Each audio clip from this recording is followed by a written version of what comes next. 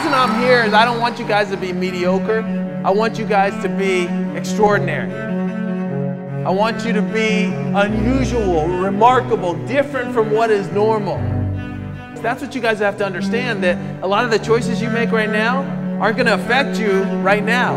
They're going to affect you in five years, in 10 years down the line. It's not about volleyball, it's not about athletics, it's about what goals that you guys have, what dreams, what is your goal out there that you're going after? Maybe you want to be uh, a musician, maybe you want to be an artist, maybe you want to be an athlete.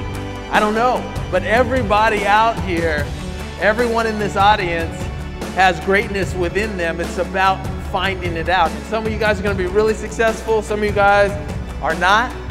And the difference is going to be who had the discipline, who worked hard, who had the right habits, who did the right rituals every day. Guess what? If you have that college degree, you're going to have the doors open for you in terms of you're going to have more opportunity to get a good job, to make more money. And I know you guys probably know people that have dropped out of school already. You fast forward 10 years with them, and they can't make more than minimum wage because they don't have the skills. So equip yourself with so many different tools that nobody can say no. That, so your world opens up, so you have opportunities, that you have all sorts of options. That's what you have to do.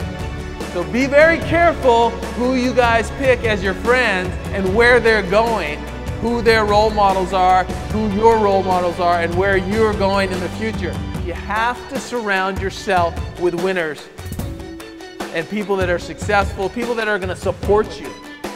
So you guys need to start making those choices that are positive, choices that get you toward your goal and not pull you away from the goal. But what you can do when you're faced with an obstacle is you control how you respond to it.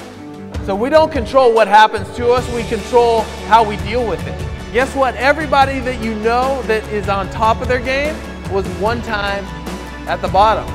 And they had to work to get to that point. So there's a lot of failure out there. But if you fail at something doesn't mean you're a failure. If you make a mistake, you're not the mistake.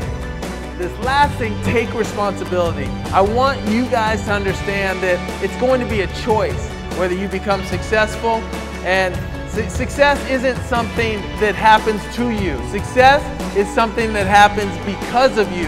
So go out there, make smart choices, and thank you guys for having me here.